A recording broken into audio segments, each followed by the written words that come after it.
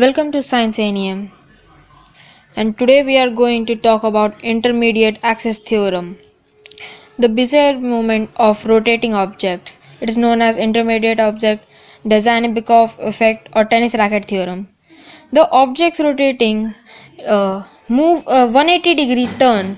Why that happen?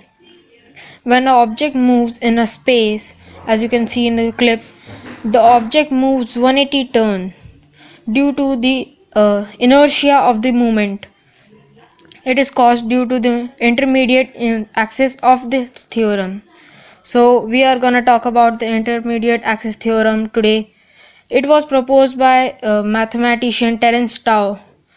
As as you see in the clip, the movement it is uh, highest inertia and it is the lowest inertia. But in the medium inertia, it has the same. It not constant the it has two types of weight as seen in this. It has maximum and minimum.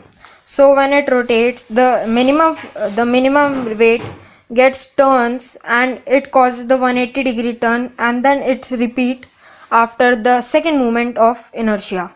So this happens the Dzhanibekov effect. Thanks for watching. Please like and subscribe. Effect